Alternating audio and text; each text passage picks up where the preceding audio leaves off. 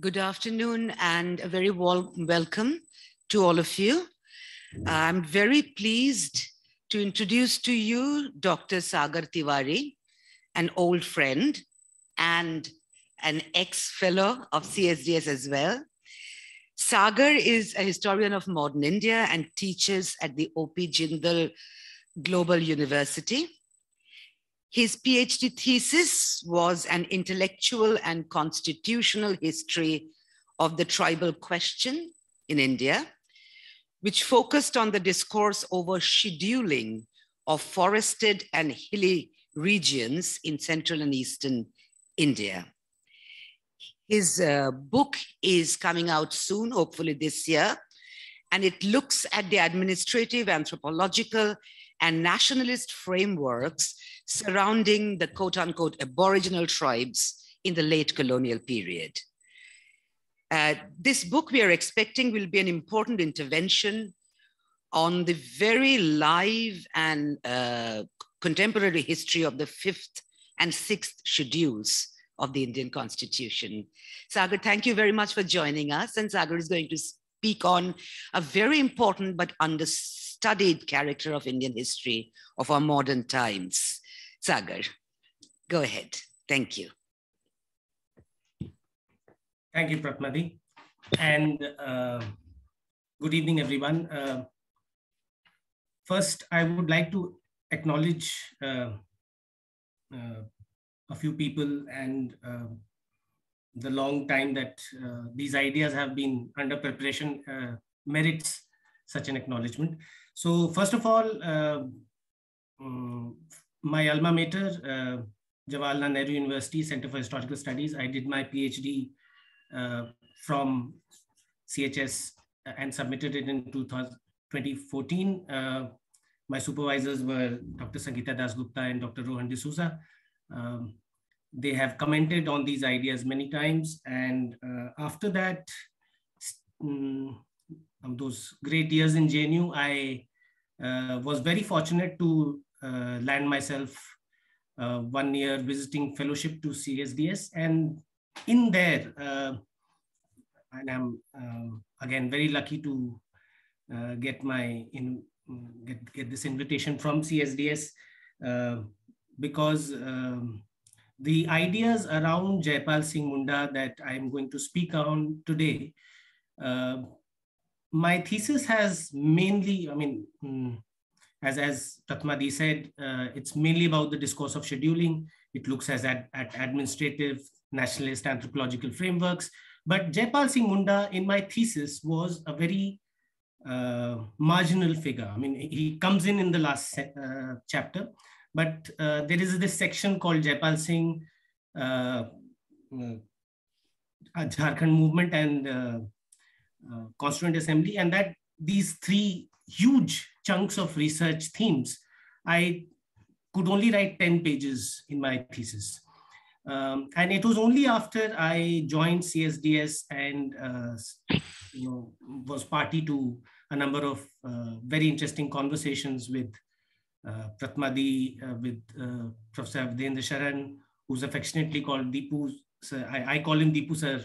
Uh, and um, that, that many of these themes were, um, uh, you know, they could pan out to the presentation today. Hopefully this uh, work uh, on Jaipal Singh Munda will constitute my second book.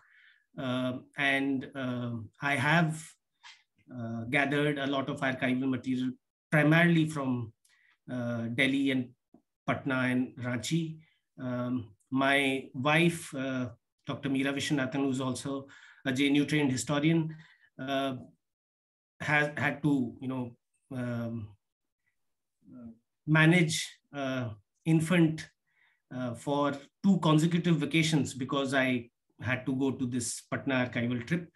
Um, and without her sacrifices, I couldn't have get got this off the ground. So uh, my uh, greatest thanks are to Pratmadi, Deepu sir, uh, Meera, and uh, CSDS also uh, nudged me to think and write in Hindustani and provided me a platform to uh, start uh, writing academic pieces in uh, Hindustani.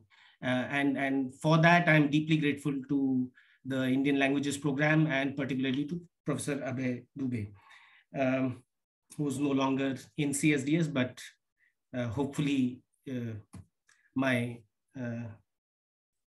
words shall reach him someday. Um, so, um, uh, and lastly, uh, this archival project uh, that we received after I, um, I mean, last couple of years, uh, we've been um, uh, doing more archival work uh, under the aegis of some small grant that we received from Dr. Ramdayal Munda Tribal Research Institute in Ranchi.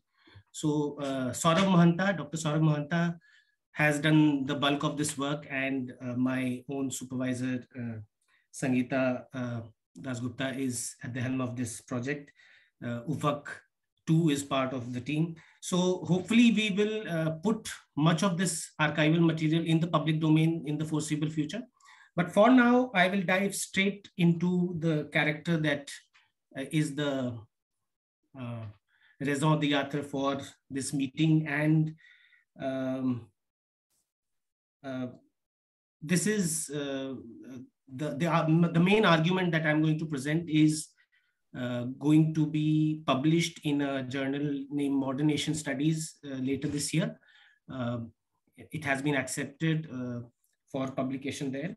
Um, but for now, um, I will begin with a little you know, sketching up of a background picture, why Jaipal Singh Munda becomes uh, an important figure to relook at. Um, why is he forgotten? Why is he at the margins of historiography? Uh, these are some of the key questions that I'll try and grapple with in this presentation. Um, but uh, to begin with, uh, as I said, the, my thesis was on the scheduling debate. And uh, while I was working uh, through that discourse, I realized, uh, and, and this question uh, rather deeply informs my work, that what happens to a minority politics which does not have an own elite to represent its interests? I could ask this question because uh, there were a group of anthropologists, administrators, social workers, missionaries, who were all debating, discussing the future of tribes in the late colonial period. But I could hardly hear, or the archives could not uh, give out many tribal voices. And uh, Niladri had, mm, I mean, my uh, MPhil supervisor, she, he uh, many times has had nudged me to uh, stay away from status discourse, to look for the tribal voice. And frankly, uh, in the entire discourse up until 1935, I could not find many tribal voices. Uh, they're few and far between. Some resolution in the Legislative Council uh, is raised, but that, that those are flashes in the pan. They, they don't constitute a sustained mobilization, a sustained campaign for articulation of ideas on uh, how to give cultural autonomy, how to protect land rights, uh, and so on.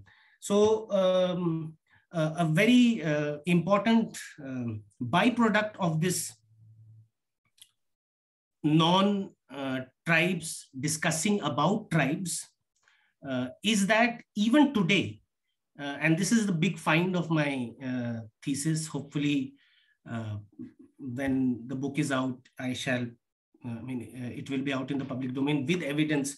But um, the answer to my question, which I posed, what happens to that minority politics without, which doesn't have an own elite to represent its interests, um, uh, I discovered that it got trapped in the so-called Ghurye Elwin debate. Now, Ghuriye is a Marathi Brahmin. Uh, Elvin is a Oxford Englishman. Uh, and they are apparently uh, discussing the future of tribes uh, in the early 1940s. And even today, much of what is presented as historiography and sociology of tribes is, is centered around isolation and uh, assimilation. So Ghurye is supposed to be a votary of assimilationist school of thought, and Elwin is supposed to be a votary of isolationist school of thought. Uh, however, um, I realized, and this is the main argument of my work, is that they were actually debating for and against scheduling. So Elwin was pro-scheduling, Ghurye was anti-scheduling. So this isolation versus uh, assimilation, it is uh, no, uh, I mean, uh, for some reason, reams have been written about Ghurye and Elwin debate, but hardly any literature exists on the politics of scheduling, uh, which is centered around this constitutional instrument of putting certain areas uh, in British India under a special inventory uh, administrative regime, which will be administered on a different footing. The logic of administration will be different. So, um, Elwin debate is a myth for sure. And uh, uh, the reason why I uh, term this uh, presentation as Jai uh, Adivasi or Jai Jaipal Jai Adivasi, forgotten saga of minority politics, is that uh, in this period, 1935 to 50, a change happens. And the change is that uh, tribes actually start coming into the picture. They start voicing uh, their aspirations and demands. And Jaipal Singh Munda in this time period emerges as uh, the Marang Gomke or the supreme leader, at least in east, large parts of eastern and central India. So uh, it is this eruption of uh, a very confident, blunt, and at times shrill tribal voice, which uh, Jaipal Singh Munda uh, characterized as Adivasi voice. Uh, that is uh, the, the main concern for today's uh, lecture. And uh, before I go into the nitty-gritties of uh, Jaipal Singh's tumultuous career, I shall like to begin with um, a piece he wrote in the Times of India on the occasion of the first, very first Republic Day, which will be two days later, uh, celebrated two days later uh, in absolutely chilly weather, um, literally and metaphorically. Uh, so this is um, what he says. And um, I read out and I'm, uh, I would urge all of you to look at the number of times he uses the term Adivasi. This is the very first Republic Day. Industrial development has forced Adivasis, particularly in the Chota Nagpur Plateau, the beehive of India's heavy industries, to shed isolationism and come out politically to protect their interests, their herds and homes. The Jharkhand province movement has caught the imagination of all Adivasis throughout India and Adivasi political renaissance receives its inspiration largely from Chota Nagpur. Here, there is a well-organized political party, the Adivasi Mahasabha, which has chosen to compel the Adivasis to play a role of honor in the national life of the country. Today, Adivasi organizations exist in every aboriginal tract. Same piece. The Jharkhand movement will continue, will grow in strength more so as several of the Chota Nagpur states have been wrongly put under the central provinces uh, as Clement uh, demands continue to make to be made by Odisha for the industrial district of Singhbhum, as West Bengal cries for the return of Manbhum, and Adivasis themselves realize that their salvation lies not in the splitting up of their groups be, uh, between three states, but in the formation of a separate state of Jharkhand so that Adivasi development may be assured.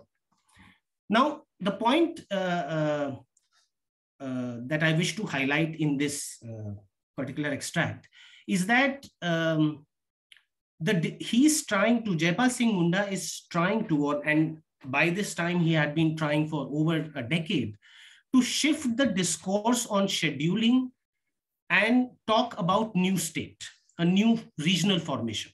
And I think it is this uh, new regional formation uh, that uh, he gives voice to, uh, which is called Jharkhand. Uh, and, and, you know, there are efforts by Adivasi intellectuals to look uh, at how far this idea of Jharkhand goes back in time. There are, there are uh, stray references that I found out in which uh, Jharkhand is supposed to be a name which comes up in Sanskrit texts, in um, also Persian texts.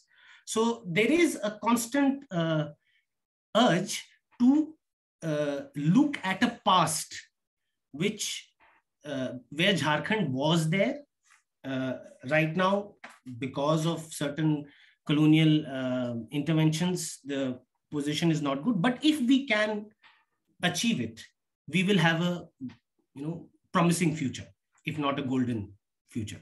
So this is the idea this is the dream that uh, uh, um, Singh Munda and, and Adivasi Mahasabha is uh, centered around. And this dream is uh, uh, not uh, to say this dream is not, uh, Singh Munda is not the progenitor of it. There have be, there had been earlier attempts during um, the Simon Commission where Adivasi uh, politicians, activists from Chota Nagpur Plateau and uh, Santhal Pargana had uh, deputed and given evidence that we want some kind of a um, separate province. If not a separate province, a sub kind of sub province. Uh, but those demands could not bear fruit at that time. Uh, however, in 1935, with the passage of the Government of India Act, uh, an entirely new situation germinates. And this new situation uh, is that um, three things happen. The uh, diarchy regime changes into provincial autonomy. Uh, there is, uh, number two, there is a move from um, um, calling it backward areas to partially excluded areas. And entire Chota Nagpur Plateau and uh, Santhal Parganas are declared as partially excluded areas. So uh, the earlier uh, nomenclature was uh, backward areas, backward tracts, but now they're called partially excluded areas uh, and tracts. And the third and very important uh, development for this Jharkhand story is that uh, Bihar and Odisha itself gets divided. So 1936 notification comes out and after a long sustained movement on the part of Odia speakers, uh, Bihar and Odisha were uh, separated, formed into separate provinces. And this coming together of three uh, decisions all at in one go, almost in a span of one or two years, uh, it uh, opens up a space of imagining tribal future in an entirely different paradigm. Uh, because scheduling, which was the main um, protective instrument of colonial statecraft, they have, uh, you know, um, made this entire region partially excluded areas. Uh, provincial autonomy meant a lot more power to uh, Indian representatives, local government governing bodies, a lot more money to them. Um, and uh, thirdly, if uh, Odias can have a separate state, why can't tribes? Why can't uh, you know this uh, thing this dream of a separate province come uh, and and be fructified now there was a problem with this uh, iteration with, with, this dream and imagination the problem was that uh, all earlier uh, states re uh, reconfigurations be it the i mean i'm talking of 20th century separation of say Bengal presidency being uh, divided into two separate uh, parts. Then you have uh, separation of Bihar and Odisha from Bengal. Uh, and then finally, uh, Odisha and Bihar, Bihar separating from each other. Primarily, I mean, I'm not saying entirely, but primarily they are predicated on a linguistic argument. That linguistic reorganization of state was the watchword for any administrative regrouping of territories. Now, um, this uh, uh, logic could not work in as far as Jharkhand is concerned, because Jharkhand had a congeries of tribe and all of them spoke very different languages. So uh, you not only have languages which belong to the Indo-Aryan family, but also to the Dravidian family, to the Austroasiatic family. And, and how could, uh, there was hardly any you know, lingua franca to speak of, which could uh, then be argued that together on linguistic grounds, this uh, new formation ought to be given a space in the administrative uh, setup of 1930s. Uh, another uh, uh, setback, and, and Jaipal Singh actually enters the picture after this major setback of 1937 elections. 1937 elections, uh, we know that it was not based on universal adult franchise. It was based on property qualifications, tax qualifications, educational qualifications. And uh, though the, uh, the number of people who could vote uh, expanded massively as, as compared to government of India at 1919 uh, to 1935, uh, still, given how um, poor and um, you know what the levels of levels of education and um, other commercial activities was in many of these tribal areas. Uh, not many tribal voters were there on the electoral rolls. Um, and uh, even then, uh, Congress did not have a you know very strong, robust organizational structure in Chotanagpur and Santhal Pargana. Uh, but still, it uh, uh, won, um, I think, five out of seven seats only one seat went to an Adivasi candidate named Boniface Lakra. Uh, another seat went to an Indian uh, seat reserved for Indian Christians went to uh, Ignace Beck. And these two were the only uh, tribal representatives who were uh, returned to the Bihar Legislative Council after the 1937 elections. Now, out of seven seats, eight seats, if only two are going to uh, the legislative body, then this was an hour of crisis for uh, the Adivasis uh, who uh, thought that no, no, this is uh, enough is enough. We must build some kind of a coalition, some kind of a united front, whereby our differences are set aside and we stop this dissipation of the limited votes that we have under this, uh, you know, electoral system in which not everybody has a right to vote. Uh, and this uh, generates uh, a very strong consensus amongst the various organizations of Chota Nagpur Plateau and region. And together they come together to, to constitute what was called Adivasi Sabha. And this is, happens in 1938.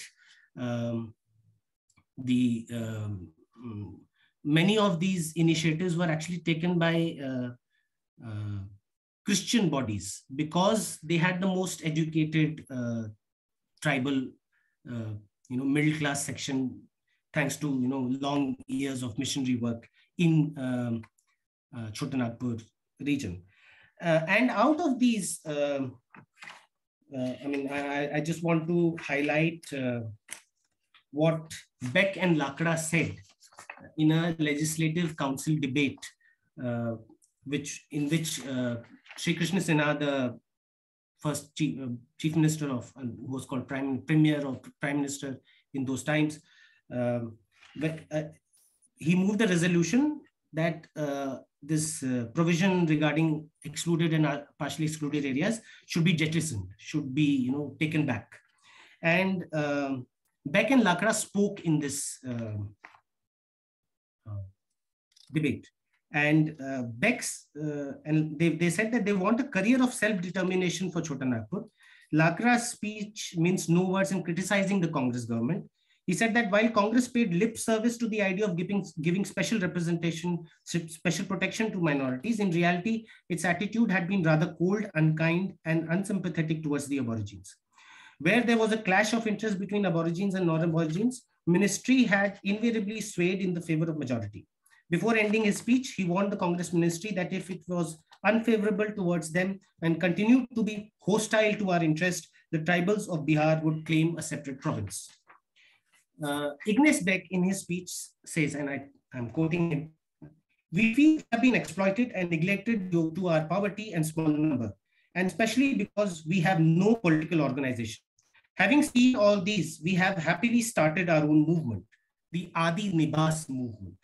I would request my Bihari friends not to misinterpret this movement as being anti-national or anti-Congress. It is not a conspiracy. It is not missionary tactics. It is a sincere move for self-determination. If we have kept ourselves back from generously following into the Congress fold, it is not out of malice. It is for you to win our confidence. You must know that these aborigines are moving fast and that they are meant to live and live powerfully. This question of self-determination, this question of separation of province must not be confused or interpreted so as to say that they are anti-national. So uh, this uh, moment uh, can be argued that you know there's, there's this that's why i've used this word eruption uh, so it's a very confident blunt at times even shrill voice which uh, uh, foregrounds this uh, moment of uh, adivasi dam adivasi hood uh, and perhaps now would be a good time to get into a little discussion on um, the word adivasi uh, and on this, I have just an apps. Uh, I'm sharing my screen again. Please let me know if. Yeah, this is from, uh, is it visible? Yeah.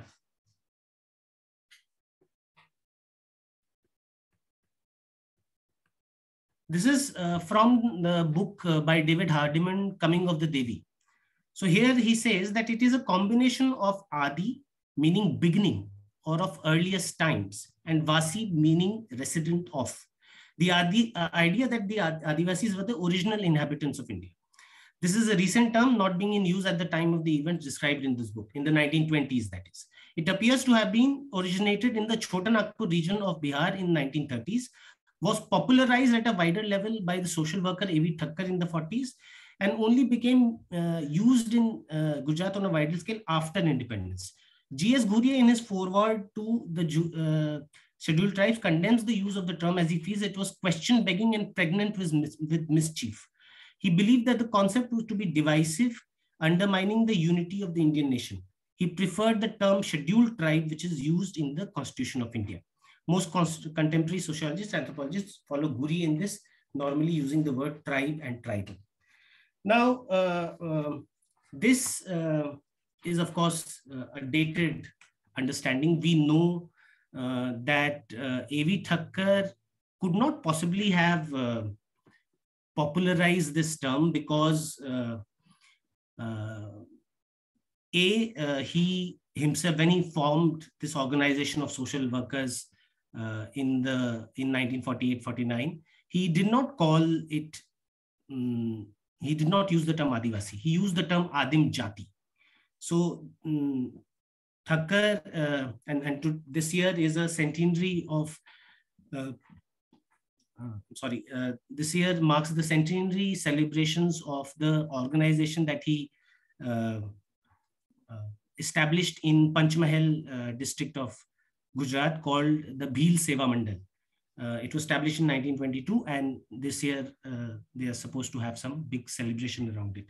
So uh, Thakkar uh, had a Hindu missionary perspective on tribes. So he thought that tribes were part of Hindu civilizational makeup and could be included in its social structure as castes. Uh, because uh, certain primitive uh, primitivist understandings uh, underpinned his social welfare scheme. And in my uh, forthcoming book, uh, I have an entire chapter dedicated to Thakkar, uh, Bapa's social welfare work. Uh, but that's besides the point.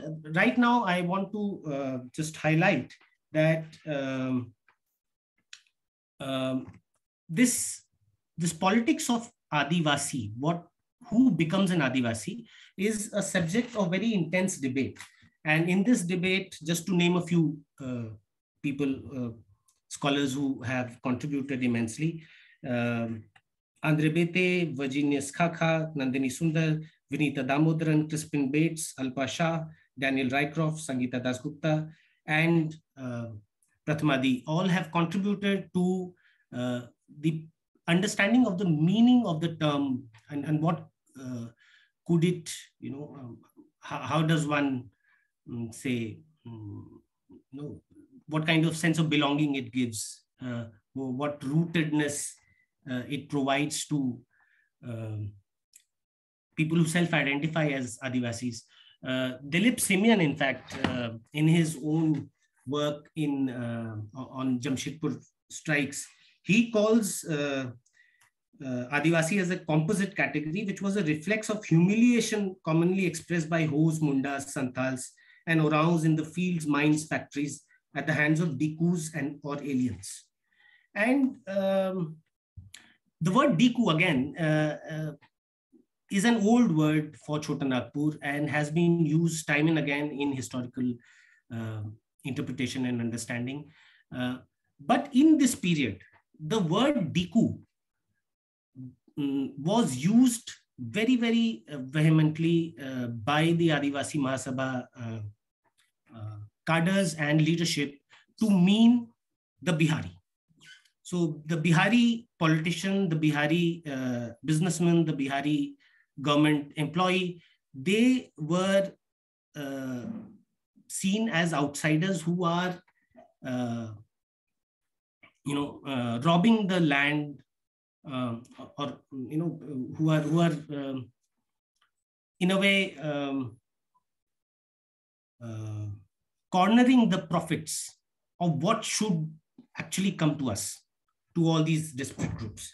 And it is here that um, uh, one needs to understand that adivasi the idea of adivasi is actually um, mm, uh, it's an invention uh, and creation of a uh, exercise in which the proclaim, one who proclaims Adivasihood, uh, the nature of this claim is very modern. It's and it's a self-consciously historical form of assertion and claim making. Uh, it is not only about indigeneity or son of the soil uh, argument. It has a reading of history uh, behind it. Uh, I mean, besides that, of course, we have originated, but uh, there's this deprivation, exploitation, marginalization. All those categories are also subsumed in the word Adivasi. Uh, so uh, in the administrative discourse, um, uh, what was earlier called backward tribes, this backward tribe category, it gets reinvented into a political category of the Adivasi. Uh, and it is this transformation from an administrative category to a political category, which um, is very significant for this period. Because, um, uh, as Shekhar Bandyopadhyay has uh, said, and I would like to highlight that aspect, um, in this day and age, uh, we need to keep our understanding somewhat nuanced. Um, so Shekhar Bandyopadhyay, sorry. In a uh, edited book, which came out in 2016, says, uh, and this is in relation to Congress dominance of uh, uh, Indian politics at that time. But despite the fact that this, uh, that this anti-colonial freedom struggle in its last phase was dominated by the Congress, it is difficult to detect any political consensus in this movement beyond its anti-colonialism. As nation was still a space for contestation.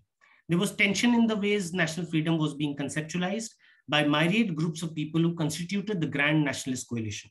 Multiplicity of ideological positions and variety of interests often presented as indicators of factionalism, were existential realities of Congress, Congress-led nationalist movement.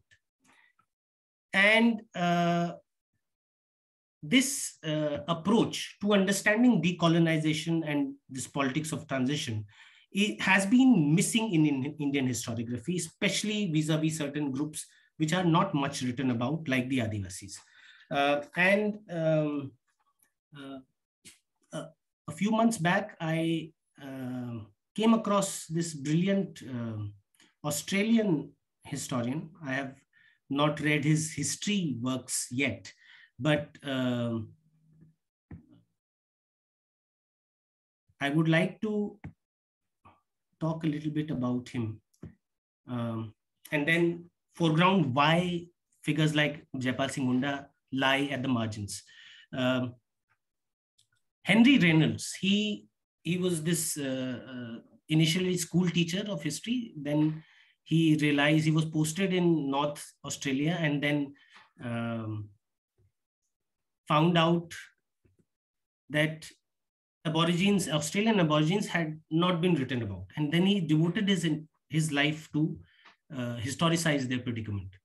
Uh, so the first three points are uh, taken from this memoir that he wrote, Why Weren't We Told, which came out in 1999. And uh, he uh, says that it was an expurgation by omission. So they were deliberately left out of these narratives. Uh, Second point he says is that there's a myth of peaceful settlement that, that was pervasive in historiography around Australia. Uh, peaceful settlement in our case would be the constitution making exercise. So uh, I'm, I'm deliberately using uh, this analogy because uh, more often than not, the making of fifth and sixth schedules and the discussions around tribal predicament in India have been focused only around the Constituent Assembly debates. But the reality uh, of what transpired cannot be gathered if we uh, frame our lenses only on the CA, only upon the Constituent Assembly. The third point, he says that it's, it's also uh, uh an act of evasion and hypocrisy. Uh, so these three were his points. Uh, the last two, which I mean, I agree with these three uh, as far as um, my own work on Jaipal Singh Munda is concerned. But I add two more points to it, which is the subaltern effect and uh, the question of silence and agency. I'll read out uh, my critique uh, because it comes out better uh, in the way.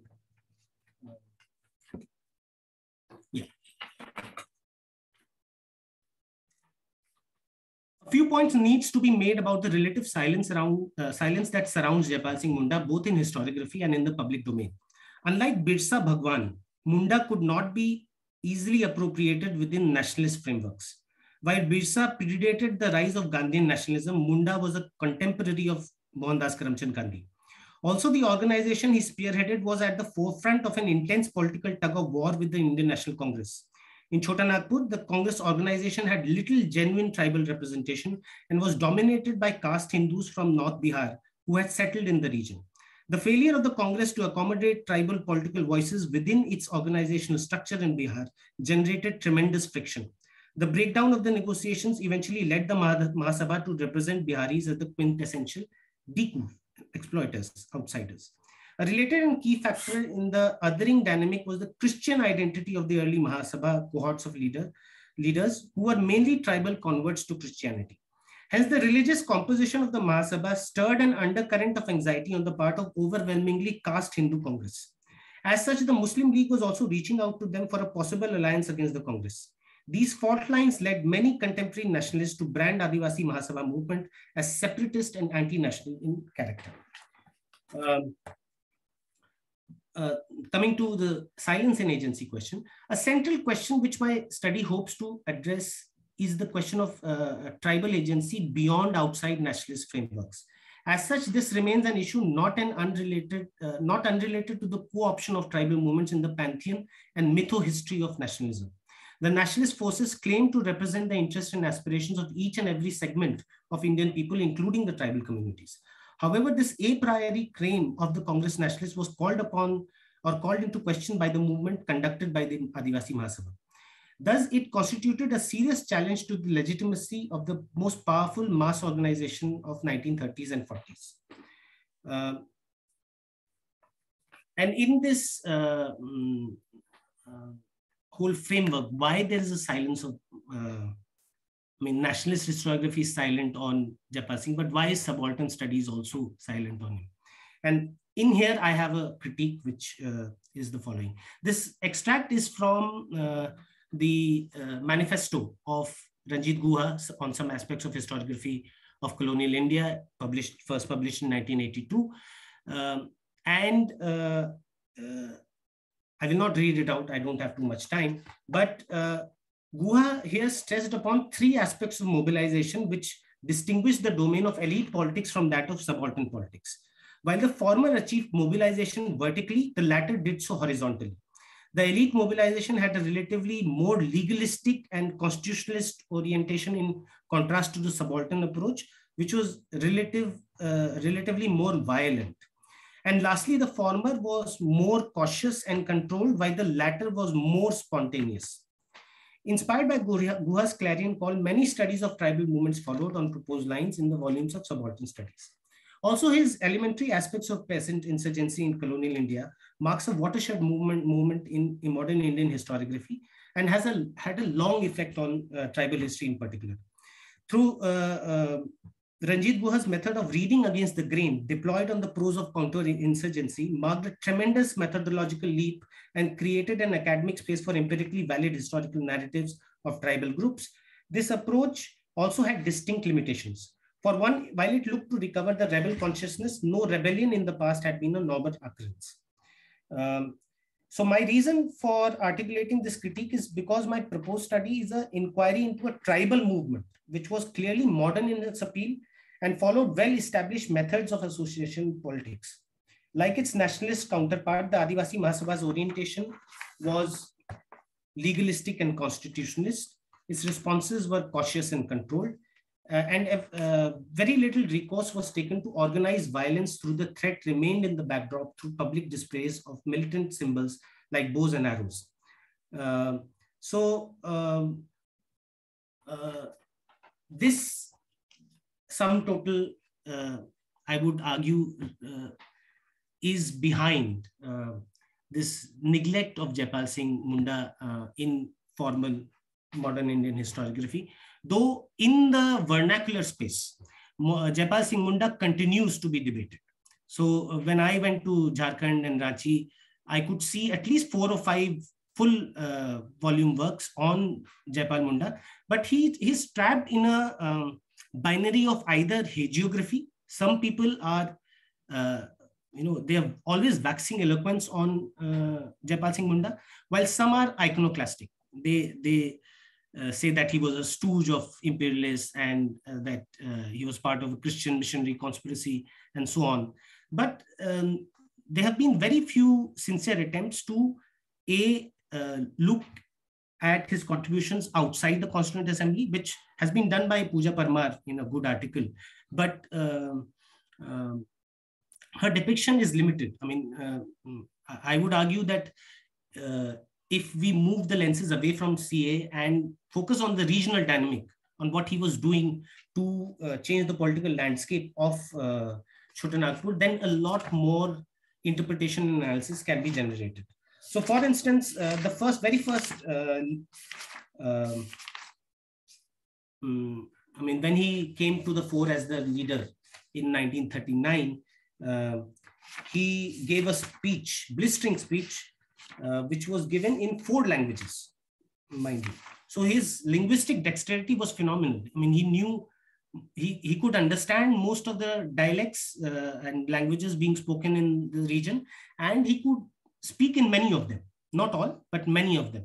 So very often, in fact, uh, uh,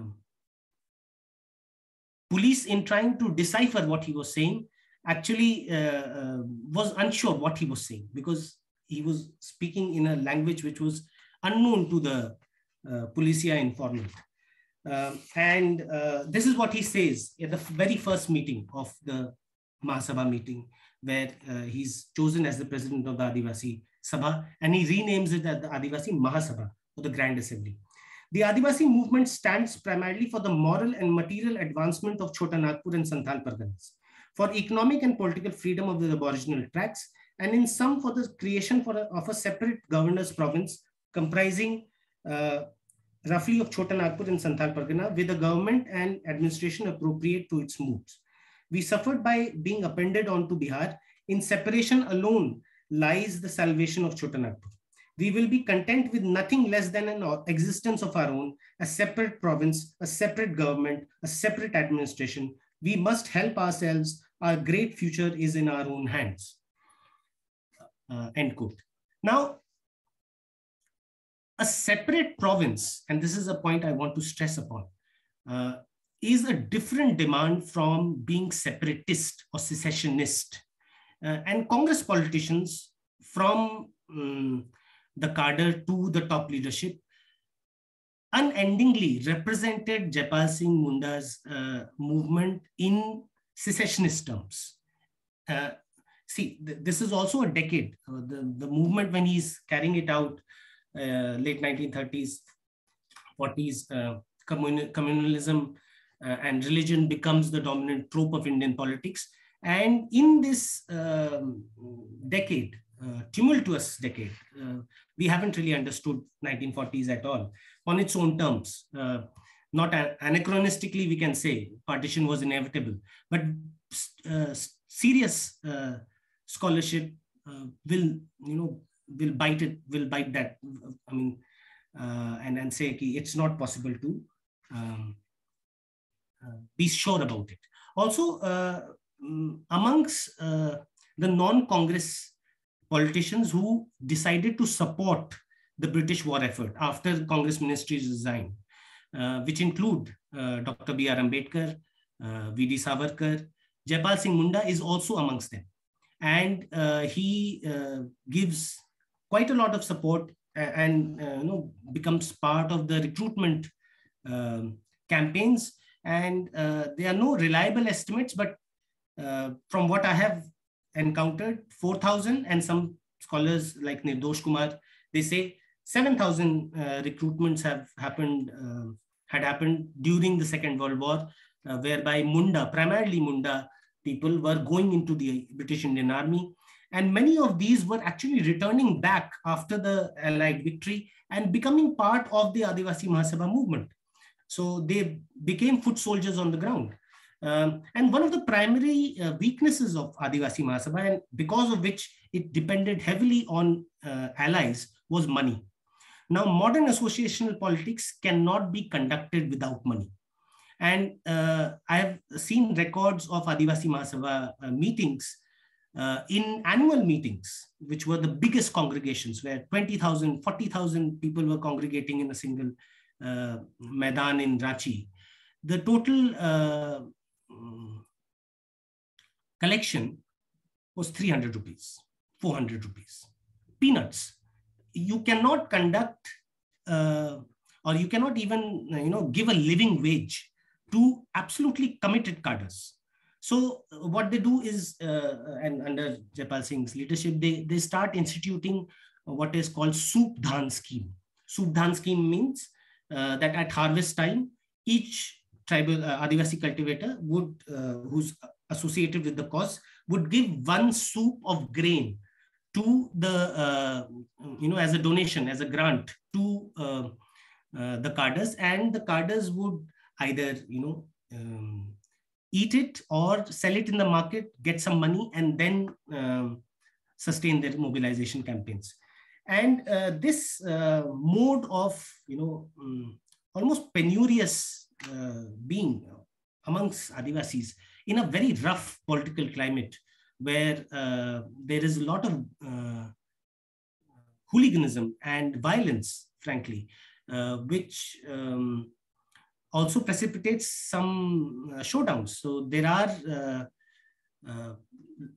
very archivally speaking, three or four major shootouts that happened in the 1940s.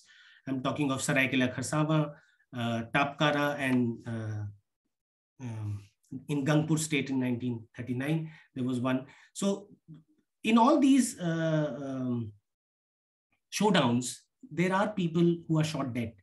Uh, and Adivasi Mahasabha uses, uh, or I would not say use is a bad term, it it creates martyrs out of them it, it you know it commemorates their sacrifice so there's a very distinct modern uh, mode of conducting politics that Jaipal Singh Munda does.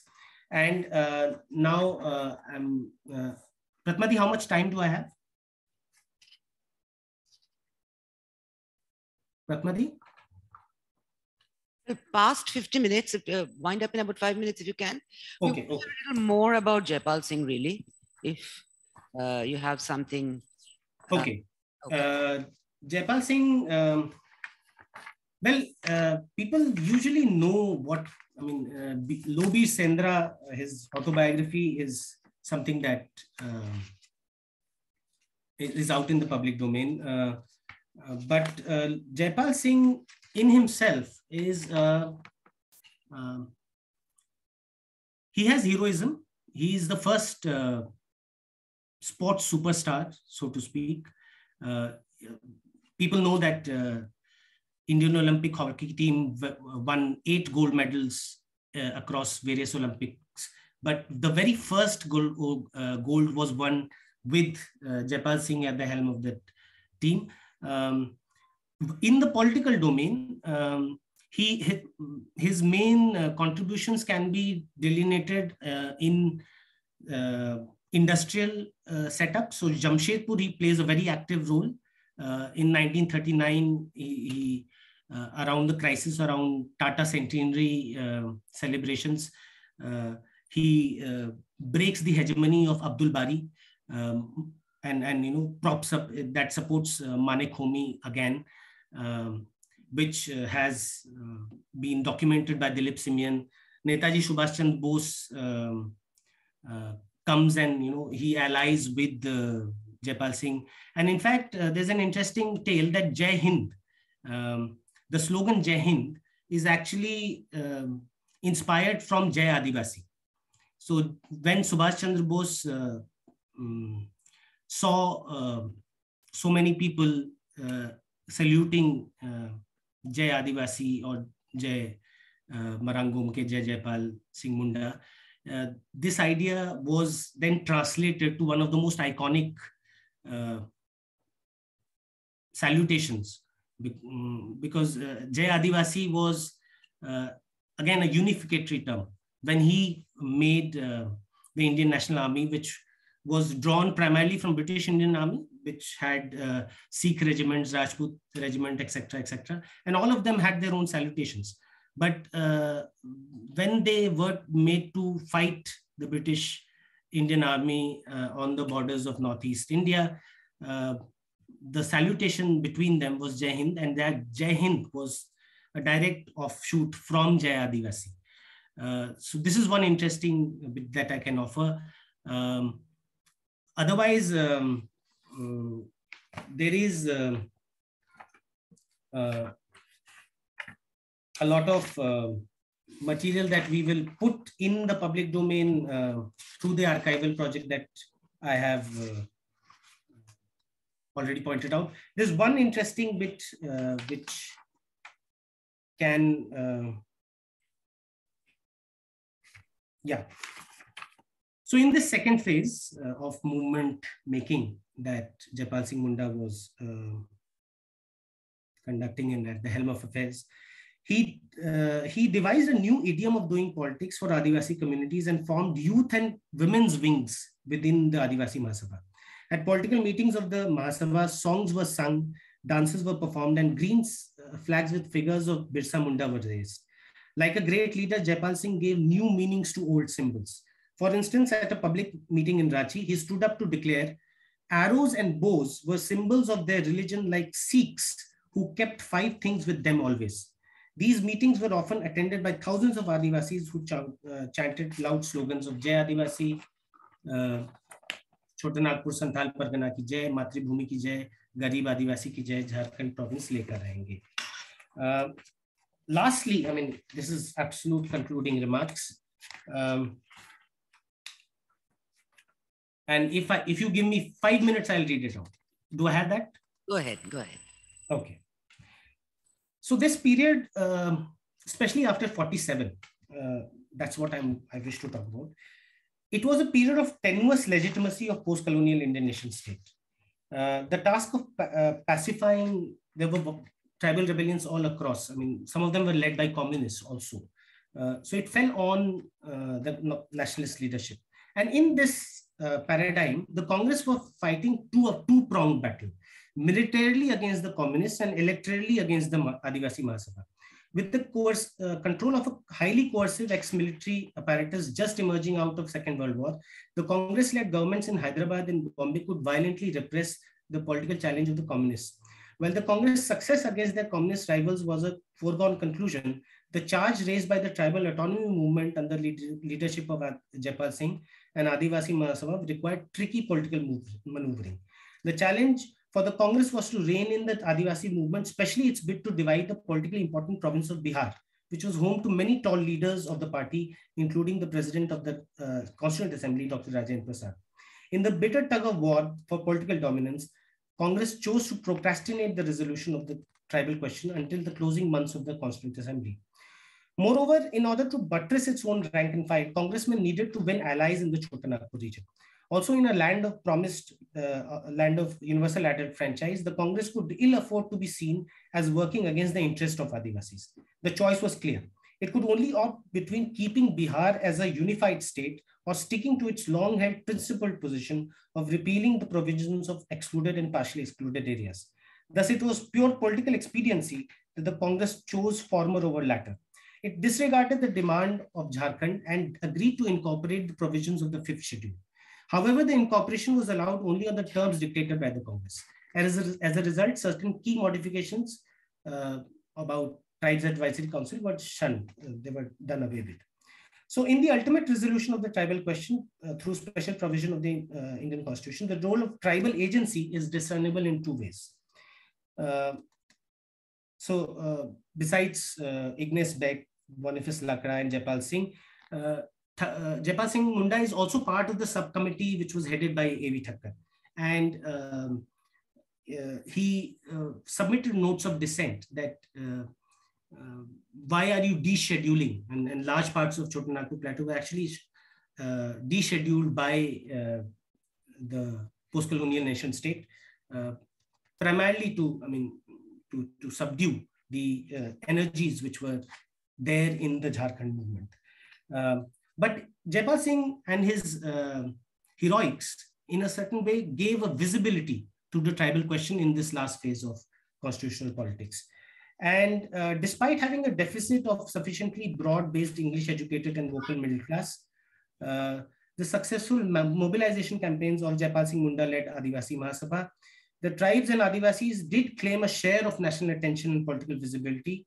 Uh, had it not been for these resistances, it was highly unlikely that the Indian National Congress would have agreed to the inclusion of the fifth schedule areas as part of the Constitution of India. Though both forces ultimately got dissipated and many of their cadres got absorbed into the Congress, they played a historic role in breaking the Congress's hegemony and position in predominantly tribal areas of the Indian subcontinent. Okay, thank you very much, uh, Saagar. Looking forward to the, the, the archival project being completed. It's really important work, thanks. So uh, uh, what? let's take some questions. So uh, the attendees, please write in the Q&A box. Uh, we'll read out your question. Uh, this is the webinar mode, so I'm afraid uh, we cannot see everyone, but please go ahead and write. Saagar, may I, and we have colleagues in the room who will also have some comments. Saagar, may I May I uh, start? I, mean, I, I get the point entirely when you say that we should look away from the Constituent Assembly debates and look at actually the playing out of the regional politics. Absolutely. I just wanted to have, I had one question about the constitution making moment. Mm. Uh, and I was quite interested to hear how you uh, call it, and rightly, the moment of settlement, as it were, a national settlement. So is it uh, not true that in the Constituent Assembly debates, um, Jaipal Singh and Phizo from Nagaland were two people who had brought the quote unquote tribal question in very different ways. And uh, if I'm not mistaken, there have there had been some exchanges between Phizo and Jaipal Singh as well, the Naga question and the and the Jharkhand question, the Adivasi question and the tribe question.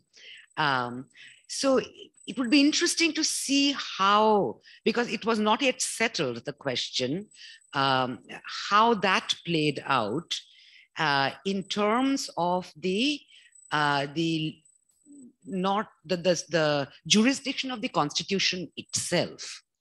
Uh, because there, there are debates in the Constituent Assembly where, you know, whether the constitution as written by this assembly would be seen as a sovereign document for the, for the entire land or not.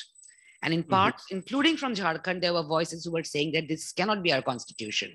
It has to be another. If, if a different representational structure is not there, this constitution. And of course, it's being headed by Ambedkar. So mm. uh, it's a really interesting dynamic playing out there. So if you had any thoughts on that, so I would be very interested. Uh, uh, yes. Saagar, hang on. Because of the time, should we take one or two more questions and yeah. uh, you can respond? Just anybody?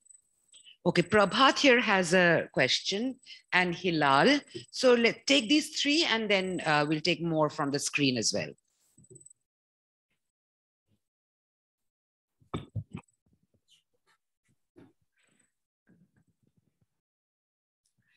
Uh, thank you, Saagar, uh, for this beautiful presentation. Uh, uh one thing, uh, I'll come straight to my question. I want to know basic information, for instance, regarding the solidarities that Adivasi Mahasabha in the 30s and 40s seek. So is it geographically limited to this uh, Jharkhand, mean basically uh, tribal areas of West Bengal, Odisha, and, uh, and, and, and Bihar? Or does it also approach or uh, try to uh, have uh, gains associations or solidarity with, say, hill tribes, or for that matter, say, in other regions of, of, of, of India?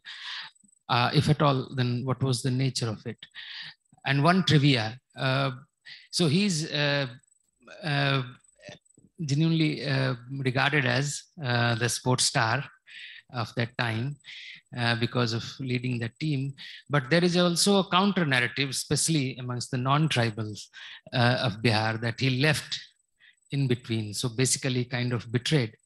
Yeah, secessionist. Yeah, thank you. Ha, Hilal.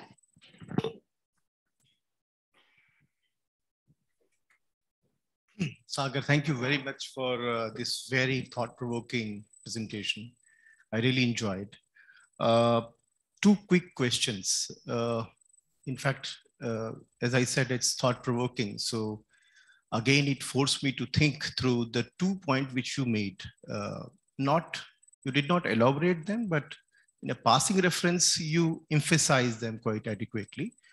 Uh, one was the relationship between political category and the administrative template. Now, this is crucial uh, that if we just divide that contextually, before 19, and you are right, I agree completely with you that 1940 must be uh, evaluated historically on its own. But if I follow you, then the question would be uh, that the political vocabulary of discourse in the 40s uh, could be uh, distinguished or there is a very interesting distinction between 40s discourse and the 50s discourse. In the post-constitution period, uh, we have constitution as an entity, as a reference point to do politics. While in the 40s, everyone is free to think freely about the possibilities and the future of India. Now we have to recognize these two moments. And if we go back to this political category and administrative category, uh, Adivasi versus scheduled caste, scheduled tribe, I think if we look at uh, this figure, because unfortunately you didn't get time to elaborate uh, the complexity of this figure, which is uh, Jaipal Singh. I think if we look at uh, the interplay between political category, that is Adivasi, and the administrative template, that is scheduled tribe, then if we, you know, we find a very interesting uh, move that this term is used. Sir, I lost you. Uh, I lost you. Uh, your last sentence, last five seconds. Okay. Take it quickly. Yeah. Can you hear me now? Yeah, yeah, yeah. I can. I'm just saying that if we just go back to 50s movement when constitution has become a reality and it's a reference point, to, so the meaning of this political term, the political expression called Adivasi would also change. Mm -hmm. the reference point would entirely be the template called scheduled tribe. Mm -hmm. So mm-hmm. the political reference point to the Adivasi would always be scheduled tribe. If that is the case, then the then it would become important for us to unpack the meaning of this political expression called Adivasi, for which a reference point is an administrative template called scheduled tribe. This is the question I think which uh, I would like you to say more. Second thing is again going back to 40s. Uh, and this is something which you also referred to, uh, that if we go back to the debate on representation, uh, some way or the other, the post 1940s and in the in the 50s, uh, territory specific form of representation became very powerful.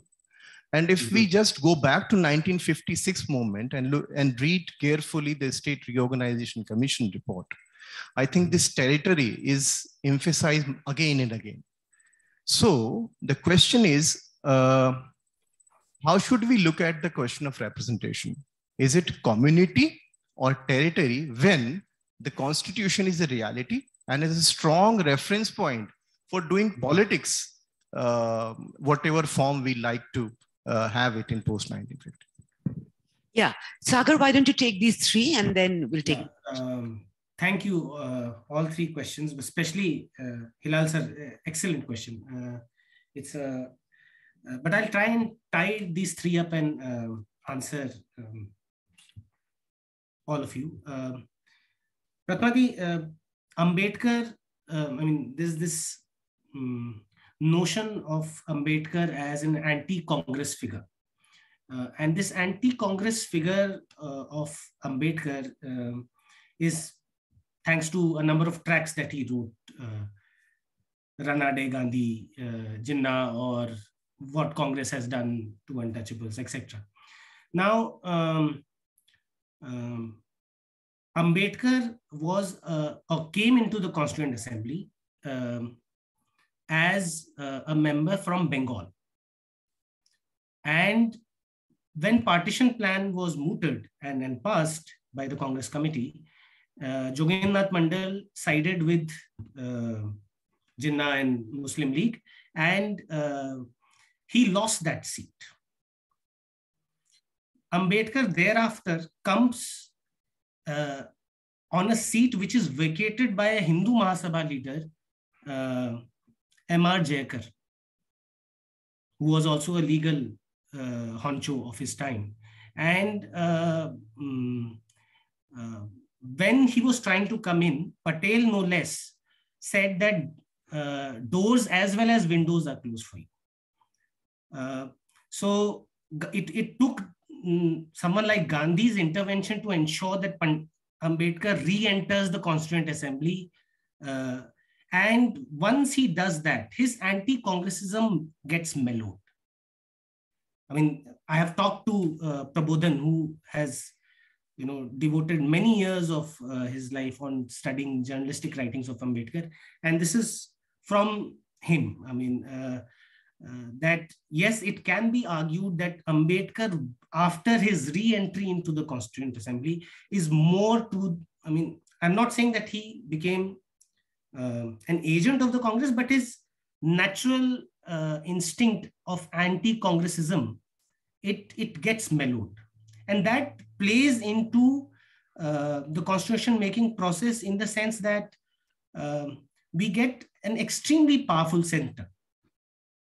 Uh, the, I mean, Ambedkar, yes, is a constitutionalist, But I, I mean, something which I could not do in this presentation is you know, compare uh, Jaipal Singh with Ambedkar. Uh, uh, Jaipal Singh's imagination is more federal. So is, say, Phizo's uh, imagination is also more federal. But the moot question in 1947 is whether we will have a strong center or we will have a weak center. And in that uh, politics, Ambedkar uh, sides with the Congress. And in these, uh, in even in the uh, mellowing down of the provisions of fifth and sixth schedules, uh, not sixth, but fifth schedule definitely, Tribes Advisory Council was lost all its teeth, and all those amendments were brought in by Ambedkar. It's a recorded fact. I mean, it was a shot that the Congress took from his shoulders because they were safe shoulders. He was a pioneering leader of Dalits who could uh, say ki he's anti, uh, you know, Adivasis. And that related to that um, uh, uh, Prabhat's, uh, Prabhat's question, uh, sir, uh, I would say that his uh, imagination and, and in, in that sense, uh, the articulation of Adivasi politics by Jaipal Singh Munda is a regional formation. Yes, in its in its core, it's a regional formation, but it is transcending individual tribes. There is no, uh, I mean, um, uh, there is no one tribal group which is uh, privileged. So it's not a Mundaistan. It is an Adivasistan. Even if he's using it is a land of Adivasis, he, it is not Ho, Urao, Munda, uh, any other tribal group, Santhal. Uh, so Adivasi uh, idea was yes a regional formation, but there are there is evidence that Gurkhas uh, and uh, other hill tribes are actually approaching uh, Jaipal Singh Munda for some support. How far does it translate into organizational matters is something I cannot I, have, I mean, I, I don't have absolute control over that material yet, uh, but I'm in the process of processing them. Uh, so someday, perhaps I will be able to answer you more uh, on the basis of what I have observed. Uh, and Hilal sir's question, uh, excellent questions. Uh, I, I would say that, um, and this is part of my book's argument also, that up until 1935, when this discourse is handled mainly administrate at the administrative level, uh, the nationalist participation in this discourse is very, very minimal. Tribes were at the margins of that discourse. Uh, in the first uh, roundtable conference, nothing, no discussion happens. Second roundtable conference, also no discussion happens. Only in the third roundtable conference, some little discussion happens because Narayan Malhar Joshi, who's the labor representative from Bombay, raises it on the behest of Thakkar Bapa. So uh, only when uh, Winston Churchill no less makes this statement in the British Parliament that uh, on the debate on scheduling that um, I wish that the entire Indian peninsula is excluded from this constitution or partially excluded, then the nationalist eyes open. You know, ये क्या हो रहा है? मतलब This uh, um, this this then spills over. That is my argument that the administrative discourse, which was territorial in conception, uh, it spills over in the domain of politics, and that spilling over has uh, unintended consequences. Nationalists could not fully control it because then Adivasi politics also gets a boost from this act of spilling over. Uh, and uh, this, uh, I would say that, uh, again, uh, to your question of the 40s, I think also uh, the effect of the Second World War on Indian politics has to be reassessed. because Second World War, it in itself, when it started, it looked highly unlikely that India will get independence. It was promised dominion status even by Stafford Cripps. Cripps is not giving independence in 42. And that's why, you know, quit India movement is uh, in a way enunciated. But um, once, uh, British lost heavily across the globe and their might got uh, severely weakened, it became absolutely impossible to hold on to earlier colonies, including India. Uh, and in that uh, framework, early 40s and late 40s are a very different ballgame, politically speaking. Uh, uh, even uh, their original plan was to exit in July 48. Uh, but Mountbatten comes and says, no, we uh, June 3 plan, we will exit in a few weeks. So um, in this uh, quagmire, in this chaos, mayhem, and, and turmoil, um, many figures uh, like Jaipal Singh, uh, who was, as I said, many of his followers actually got salary jobs. so Adivasi question at that point, I think also became becomes a class question because then um, uh, it is no longer only about cultural autonomy. It is also about uh, a very modernist conception of, I mean, Jaipal Singh Munda is not saying ki jal jangal jameen chahiye. He's, as I said, as I uh, showed you in at the beginning, he's all for industrialization. But on what terms? And that is the key question for me, that his vision for the place of Adivasis, not as scheduled tribe. Scheduled tribe, again, is a um, amendment in the constitution uh, uh, the earlier term was aboriginal and hill tribes. This is also amended by the uh, by Ambedkar. Uh, the amendment to change it to scheduled tribes comes via Ambedkar. Uh, and um, lastly, and this is an important point, I think, um, the um, uh, the reading of history, which Jaipal Singh has, uh, is heavily predicated on the Aryan invasion theory. Uh, while uh, Ambedkar uses a more nuanced reading of that Aryan invasion theory uh, to make to create his own politics. But Jaipal Singh, unlike Ambedkar, is not a scholar. He he doesn't, you know, Ambedkar learns Sanskrit and interprets these texts and uses them to create this uh, image of Indian history where Brahmanism and Buddhism are loggerheads with each other. But uh, Jaipal Singh do, is actually looking at Indus Valley for inspiration. And, and it is this, uh, um, you know, he, at one point he calls himself a primitive nationalist. Uh, while Ambedkar in the 1930s is uh, about, uh, he's calling himself uh, Protestant Hindu or non-conformist Hindu it changes mid 30s onwards. But there's a taxonomical ferment in this entire period. Categories are not stable. Mm. And it is this instability of categories that uh, generates a lot of politics of which is around numbers. Uh, and Arjun Appadurai, uh, for instance, has used this concept of predatory. Uh, I'm, I'm forgetting exactly uh, what it is called, but there's a um,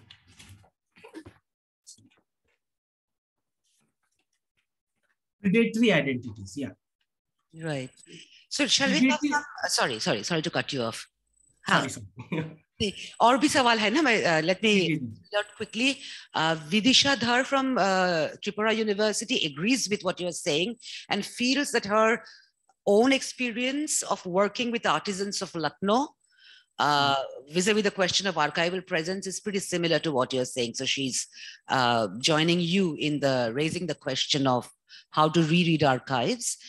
Uh, there's a second question um, um, which asks why um, Ambedkar gains pan-national attention, but Jaipal doesn't. But he, he or she also asks that between hagiography and missionary conspiracy, there is a third position apparently, which is about why Jaipal also joined the Congress at the end and that it might have been a betrayal of the Jharkhand movement, which had taken, as you rightly said, a more Jal Jangal Zameen uh, turn by the 60s and 70s and so on. Uh, come down, Ayodhya. Mm-hmm. Then there is another question on, um, right, how the, how the category of the tribe in India is different. You already mentioned the Australian uh, First Peoples idea. Uh, and the and and Af tribes in Africa. Um, so why is the tribe question so under debated and uh, in India as opposed to say even in Africa or Australia or of course Canada? Uh, there's another question. I'm sorry, I'm just reading them out quickly. Just keep a note, uh, just to make time. Uh, Utkarsh, you can also see them in your boxes. Yeah, I am seeing them. Yeah, I'm just reading it for for the rest. Um, uh, quite intriguing the way you ref reflect on historiography. Uh, the Utkarsh's fieldwork is also on Chota Nagpur, and where that Sabha is now much split after post 90s. Um, I see the Sabha's attempt to uh, homogenize uh, Adivasi rituals and festivals across villages has resulted in this kind of a, uh, and, and the rise of village priests, apparently, um, and their co-optation, you know, so basically you get the hint. Mm-hmm. Where has the movement gone? Uh, hi, Nandini, uh, do you have a question? Um, I can see this is Nandini, but I don't. Uh, maybe it's in the chat box. Uh, there are some questions. Yeah, uh, yeah I, I, uh, may I? Yeah, I can yeah, Go ahead, go ahead. We'll find the other questions. Yeah. Okay. Uh, yeah, thank you, Vidisha, uh, for agreeing with my critique. we go a long time back. She was my classmate in MA and a fellow JNU um, about the uh, the third position on how he betrayed the movement by joining the Congress, it is well known that you know uh, that that uh, it is seen as a stab on the back. But what is less well known and what is what comes out in the fortnightly reports that I've seen of uh, Bihar in the 1950s is that there are murmurings within administrative ranks that he's actually mulling this uh, uh, soon after uh, states reorganization commission um, you know rejects that demand. So it, he joins it finally in 1963 uh, the congress and is quickly set aside. But um, the uh, and and only uh, an internal document, if there is one, uh, of discussions within Adivasi Mahasabha can reveal what are the factions who, um, you know, which were supporting this decision, which, which were not. Uh, we know people like N.E. Horo and others uh, split away after uh, Jaipal Munda decided to go the Congress way. Uh, but it's a less worked upon area. And a lot more archival work needs to be done so as to you know corroborate uh, different theories. See, all th all these theories are at best beliefs. Uh, we can uh, believe in one theory or not, but um, as far as historiography is concerned, uh, we cannot uh, speculate without evidence. Uh, and the evidence presents a more uh, nuanced picture, which it ought to be. I mean, after States Reorganization Commission cans the demand in 1955-56, it becomes very, very difficult to, you know, see a future um, of for, for the state. But I would argue that the energies that and the ideas that this movement generates eventually translates into other tribal states like Nagaland, Mizoram, uh, you know, uh, in the Northeast because even the Naga identity is not a singular identity, it is a generic formation.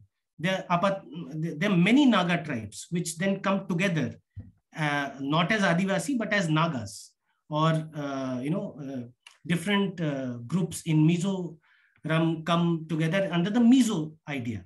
So uh, this trajectory of coming together in a manner which is generic and which becomes a political category whether it translates into territorial homelands or not is a different question. But this idea that tribal territoriality can be politically articulated and um, a campaign can be mobilized and uh, the, the most important part of Adivasi Mahasabhas and Jharkhand Party's uh, success story was this electoral success. And it was not only uh, massive uh, rallies that uh, uh, Jaipal Singh headed. he he was on he was the leader of 30 plus MLAs in 1952 and 57 elections. So almost even his, his party swept the ground uh, once universal adult franchise comes into being. And there are descriptions in Santosh Kiro's books that, that you know, uh, his election uh, symbol was the cock. And he used to travel on electoral uh, rallies with the cock on his shoulder. Uh, it was a trained cock. But imagine the times that, uh, you know, this man conducted political mobilization campaign and electorally translated it into seats not one or two, 30 plus, 35 plus seats, uh, which decimated the Congress in the very first year of independence, uh, very first decades of independence. So it was, um, uh, it, it broke Congress hegemony at multiple levels. Uh, and this is a story which needs to be told more. Uh, and I agree with the, uh, the point that uh, Prabhat has indicated at that what were its larger dimensions? It, it's, it's something that needs to be uh, worked out uh, archivally. And last question. Uh, I don't know much about the recent uh, history of Jharkhand movement. 1970s uh, onwards, I'm frankly uh, in um, shallow waters. Uh, so once, uh, and hopefully I'll have a better grip and at some other presentation, I'll be able to throw some more light on it. Saagar, I had a question. Uh, thank you very much. There's so much to think about and learn from what you presented. Uh, I had two questions that are kind of marginal to your presentation. So I thought I'll just put it to you and see where it goes. Uh, one is uh, even as you speak of stepping outside the Constituent Assembly, it seemed to me that much of the focus still remains on, uh, you know, on, on, on words and ideas and, and uh, ideologies as they were clashing with each other. Uh, as a consequence, it's only, you know, two minutes back that you speak about the way he traveled. Uh, earlier, you spoke about how he spoke. I think uh, uh, one way of getting out of uh, the Constituent Assembly is to look at the actual practice of politics and not mm-hmm. just the ideas that we're contesting with each other. Because in that grammar of how people traveled, spoke, mingled, ate, uh, there's a lot to be learned and said. And I think that's something that uh, you still haven't. Uh, it's it's as if you you you you recognize it, but you haven't stepped into it. So you still remain within the broad frame of what we'd call the political. You know, who's contesting whose ideas in what ways. Uh, so that's one question. The other entry point was sports. And I was kind of surprised that sports find a kind of a marginal presence, uh, considering how much sports and tribal identity has got mixed up. Uh, wouldn't it be interesting to look at uh, both politics and life in general uh, through the prism of sports uh, to throw a different kind of light. Uh, so, so what I'm asking is, is critique of the world studies from agency, this, that, what's up ticket. Uh, has to be done, many people will do it. Uh, but the other issues that you raise, is it possible to actually seriously engage with them rather than just mention and park it? Uh, you got me, Deepu sir. Absolutely. Uh, I haven't. Uh... Some other people in the chat box who also say the same, uh, especially regarding sport, and that it's not just part of, it's not an aside either in Jaipal Singh's life or in tribal identity till today. I mean, Naga mm-hmm. football and uh, Jharkhand uh, archery. I mean, these are like central, so much central to uh, the imagination and the archive uh, will have to be also of that Uh, just one or two more questions in the chat, just to, these are the last ones. Um, there are some comments about, um, you know, what uh, what is uh, what was the industrial uh, uh coal lobby's relationship to Jaipal Singh? Uh, wasn't there another battle that he was fighting um, as as well as the Congress? So that there's one question there. And uh, um, if you could share if Jaipal Singh had an involvement with the Bodoland, the Bodoland question. So these are the last questions that you have. Okay. Uh, uh, thank you, Professor Sharan.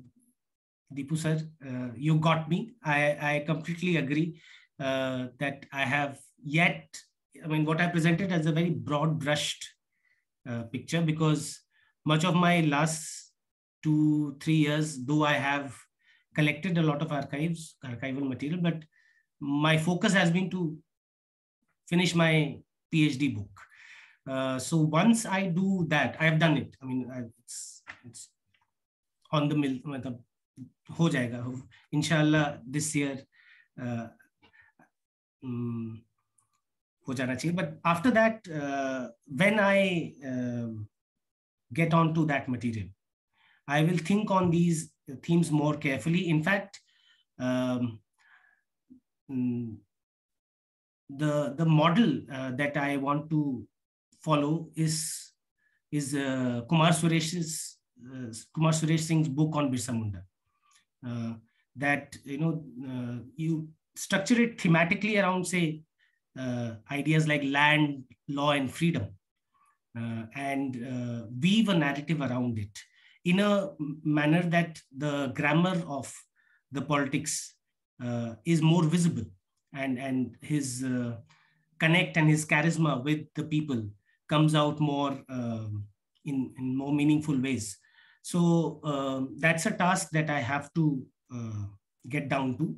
Uh, um, right now, my wife is on sabbatical and I am uh, uh playing a, a, supporting role. So after her sabbatical gets over, and when I get uh, a fellowship, some kind of a time, I will definitely do it. So, uh, and your point about sports and is well taken. but again, um, sports history is something I have not uh, ever dealt with. I know it cannot be, I mean, if one, one were to visualize it as a biography, yes, uh, his superstar status as a hockey first Olympic champion has to figure in. But I'm looking at it as a political biography. Uh, I am not, I mean, I can see that he was a very good captain of the team. Uh, both on the hockey field and in the political uh, rough and tumble of Jhar, uh, Chotanagpur and Santhal Pargana. Um, in fact, if you read uh, Lo Bir Sendra, uh, his short sentences seem like the hockey passes that uh, one uh, would make in uh, on the on the field. But sports and its relationship with tribal identity and uh, you know the physicality of it the body uh, and and uh, there's this uh, uh, evidence from the archives where um, his mentor Canon, Canon Cosgrave he says that he has an eastern slimness and a western straightforwardness so that can be you know put to interesting interpretations. But yeah, that interpretative leap on um, sports and its relationship with politics is uh, something which remains to be done. I'm uh, not yet in deep waters yet, but eventually it has to be tackled. Uh, about um, Bodoland, um, I, I, haven't found any evidence of Bodoland uh, um, agitation at this time, but Gurkhas definitely, uh, I mean, it, Bodoland is tied up with the Gurkha identity, yes. Uh, but those evidences, those, those uh, references are very uh, scanty and they, uh, they're not, they don't make up for a lot of meat around which a broth can be uh, made.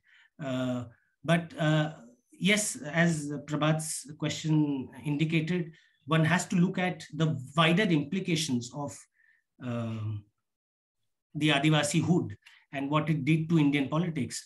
Uh, in fact, the term Dalit um, became a pan-Indian identity. Uh, Adivasi still hasn't become a pan-Indian identity. And uh, part of the reason could be, and I think it is one of the uh, points of comparison between Ambedkar and uh, Singh, is that Ambedkar left a substantial written corpus, which kept his ideas in circulation, uh, added on by uh, you know oral tradition of around Ambedkar uh, as well. So uh, Ambedkar has had the benefit of both orality and literary circulations of ideas. But Jaipal Singh has, I feel, been trapped in orality alone. There are some artifacts which have been generated, some plays which have been written on him. Uh, there is a uh, oral tradition, not very uh, robust, but around Jaipal Singh, which needs to be documented.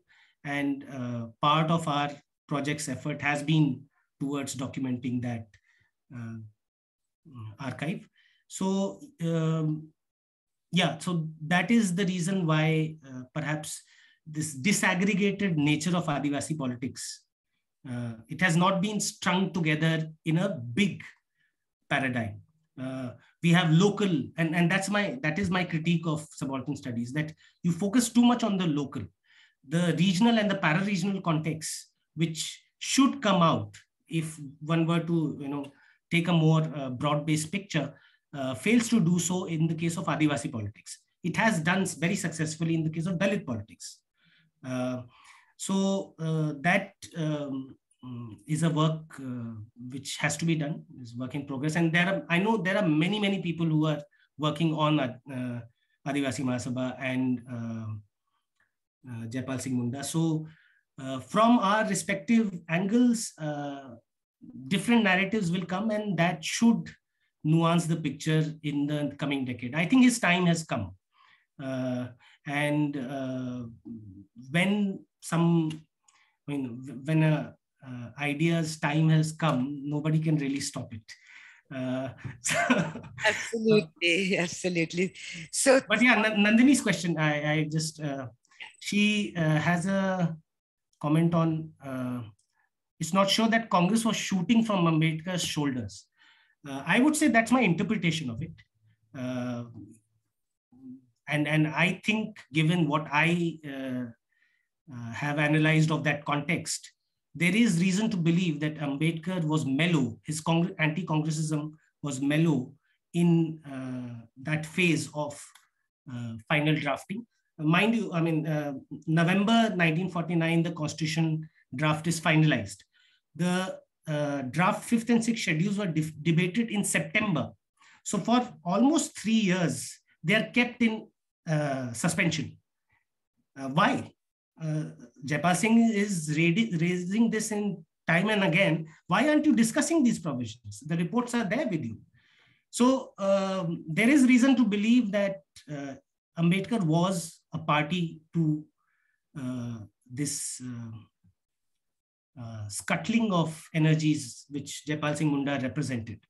And um, uh, lastly, um, I would say um, um, the history of constitution making in itself uh, uh, has suffered uh, because you know we have not we've given too much of credence to what is said inside the uh, assembly. Uh, if I would, if I can quote with your permission, with chair's permission, one last comment. Uh, Neera Chandhoke makes it in a article on in the Constituent Assembly uh, debate, she she says, and I'm quoting her. Mm -hmm.